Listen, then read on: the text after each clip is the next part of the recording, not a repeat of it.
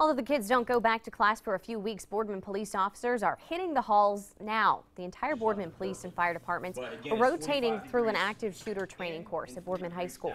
The course is required and repeated every year. This active shooter training course combines classroom instructions with hands-on tactical training. Although the training was held at the school, the training is not limited to just apply to schools response. It's one that officers can use anytime. So although it might be a different setting, whether it be the school, the mall, we're dealing with buildings and a lot of similar features. So we teach our officers not to get too keyed in on one specific thing, but we give them generalities and tactics that will be used across the board. This year, members of the Boardman Fire Department are included in the training to continue to improve in response during an emergency.